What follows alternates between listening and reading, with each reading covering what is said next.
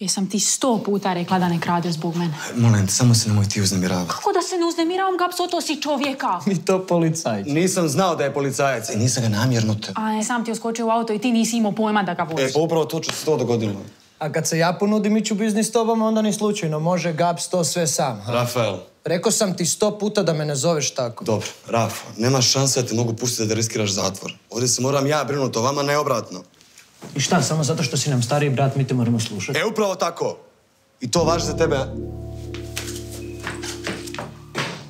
Si ja tebi rekao da mu se više ne približavaš. Ti znao da sam danas trebao vjenčati. Načuo sam nešto. Samo ti mene i dizmovačka policija ti je za petama, vi ćeš ti uno. Si baš morao to napraviti. Samo se oboje smiriti, sve ću riješiti. Mm. Baš me zanima kako.